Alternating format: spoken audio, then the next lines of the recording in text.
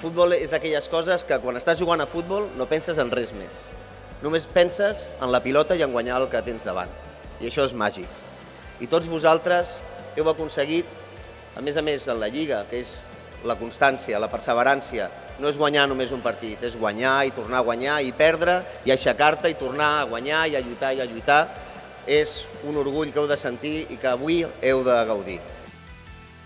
Encara que la violència al terreny de lloc, allà on juguen ells, ha baixat, ha baixat considerablement.